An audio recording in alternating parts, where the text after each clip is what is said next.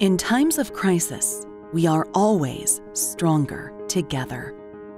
In 1918, our nation faced a shortage of educated field officers to serve in the global crisis of the First World War. Knowing the only way forward was through the collective power of colleges and universities, we banded together the American Council on Education. We developed the GED to help veterans returning home from war lead successful careers.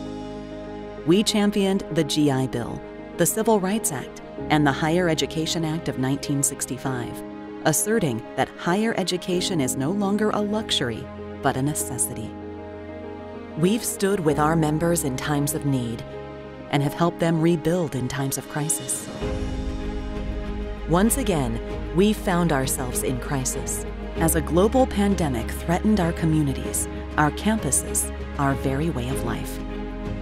Using our collective voice to help find solutions, we connected leaders to the resources that they needed, ultimately helping to secure nearly $77 billion in federal COVID 19 relief for the higher education community. And now, as we emerge from one of the most difficult periods in history, our commitment to serve all students has never been clearer. We can always make change if we work together.